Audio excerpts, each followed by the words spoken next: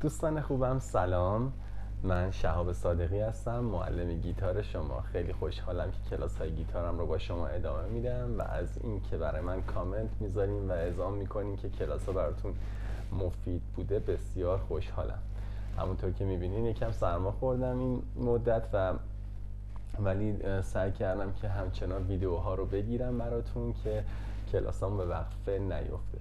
اگر که ویدیوهای من براتون جذابه ازتون می‌خوام که صفحه من رو subscribe کنید و همچنین این زنگوله بغل دستیش رو هم فشار بدیم که اگر من براتون ویدیو گذاشتم شما جز اولین کسایی باشین که ویدیو من رو می‌بینید. خب امروز می‌خوایم راجع به چی صحبت کنیم؟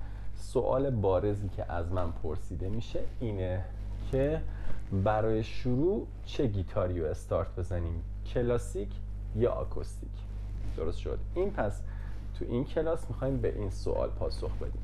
برای افرادی که این سوال براشون مد نظرشون هست می‌تونن این کلاس رو تا انتها دنبال کنن و امیدوارم که حق مطلب علا بشه. ببینید بچه ها یه سوالی از این پیشتر از این پرسیده می‌شد که من علاقمند به موسیقی راک و متالم ولی به من گفته میشه که در ابتدا باید برم سراغ گیتار کلاسیک و آکوستیک بعد الکتریک. این رو در ویدیوهای قبلیم یه 20 ویدیو قبل مفصل توضیح دادم و در نهایت به این نتیجه رسیدیم که نه.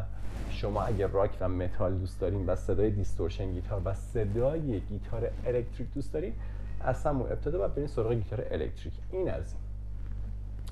دستبندی گیتارها در اصلی ترین دستبندی به دو دسته تقسیم میشه. یک الکتریک غیر الکتریک. برقی آکوستیک. درست شد. گیتارهایی که خودشون صدا ندارن در واقع کاسه بزرگی ندارن که صدا توشون تولید بشه و نشر داده بشه گیتارهای الکتریک هستن خب؟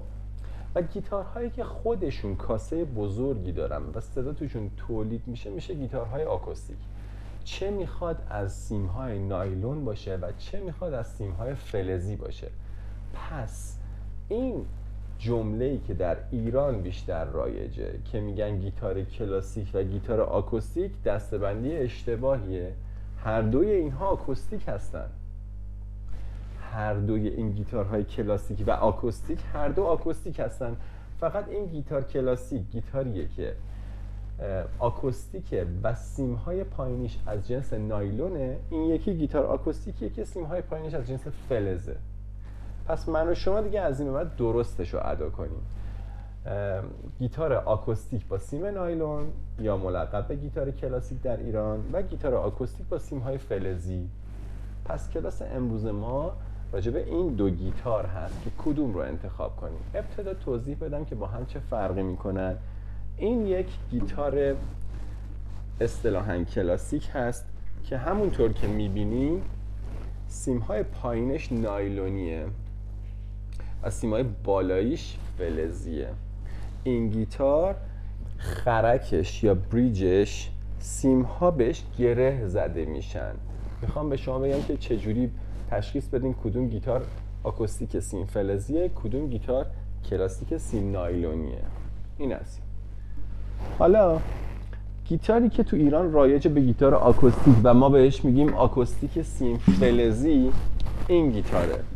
سیم های پایینیش فلزی و خرکش سیم ها با میخ به بدن متصل میشن. خب حالا فرقشون چیه؟ این گیتار آکوستیک سیم فلزی بیشتر برای سبک های غربی مورد استفاده میشه بیشتر عمدتا. سبک راک، جاز، بلوز، کانتری خب؟ کمتر برای پاپ و کلاسیک و اینا استفاده میشه.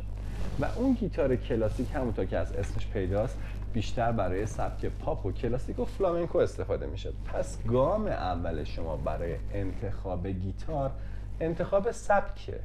اگه شما گیتار اگر شما سبک راک و جاز و بلوز و کانتری دوست دارید. و گیتار الکتریک نمی‌خواید بزنید. می‌خواید با گیتار آکوستیک این کار رو انجام بدید. میباید آکوستیک سیم فلزی بخرید عمدتا و بیشتر و رایجتر. و اگر که دنبال سبک پاپ و فلامنکو و کلاسیک هستیم شما گیتار کلاسیک سیم نایلونی رو عمدتا تهیه می‌کنیم پس این شد قدم اول و مهمترین فاکتور. سیم های فلزی به لحاظ اینکه سفتی بیشتری دارن و نازکی بیشتری هم دارن نسبت به گیتارهای سیم نایلونی برای مبتدی نوازندگی باشون نسبتا آسون نیست. درست شد. اگرچه دسته که دارن باریکترن و گرفتن آکوردهاتشون آسون تره اما در نهایت نسبت به گیتار کلاسیک برای مبتدی آسون تر نیست. ولی سختی و آسونی نباید برای شما فاکتور اصلی باشه بلکه سبک برای شما باید فاکتور اصلی باشه. صدای گیتار آکوستیک نسبت به گیتار نایلون صدای تیزتری داره تریبل بالاتری داره. جنس صداش کاملا متفاوته. و برای ریتم نوازی بسیار صدای فوق العاده ای میده. گیتار نایلون برای آرپژ نوازی ملودی نوازی صدای فوق العاده میده. اما همه اینا مجدد برمیگرده به سبک. شما در گیتار سیم نایلون اگه بخواین راک بزنین خب صداش خیلی نرم و لطیفه. این یه ذره صداش آکوستیک یه خورده صداش خشنتره. بنابراین دوباره برمیگردم به اینکه انتخاب نهایی این که شما گیتار آکوستیک سیم فلزی انتخاب کنید و یا گیتار کلاسیک سیم نایلون به سبک مورد نظر شما برمیگرده با توجه به اینکه در ایران سبک پاپ و کلاسیک خیلی بیشتر مورد توجه هستن نسبت به راک و جاز و بلوز و کانتری و اینها سبک غربی اغلب کسانی که گیتار می‌زنن گیتارهای آکوستیک می‌زنن گیتار کلاسیک با سیم نایلون رو انتخاب می‌کنن. من فکر می‌کنم بیشتر از 90 درصد و یا حتی بیشتر 95 درصد. شما هم احتمالا از این دسته خواهید بود. اگر که بخواید کلاسیک و پاپ که در ایران خیلی رایج تر هست استفاده کنید اگر که فن موسیقی راک هستید و نمی‌خواید گیتار الکتریک بزنید گیتار آکوستیک رو انتخاب کنید و اگر که فن موسیقی راک و متال هستید و صدای distortion و صدای همون خشن موزیک ها رو دوست دارید اول و آخر سراغ گیتار الکتریک باید برید. خب من سعی کردم که خیلی مواضع رو روشن براتون توی این کلاس توضیح بدم و به اما اگر ها حالا ببینیم و حالا حالا ها نگم دقیقا روشن کنم که اگر دنبال چه هستید کدوم گیتار رو بردارید. امیدوارم که براتون مفید بوده باشه. مواظب خودتون باشید و خدا نگهدار.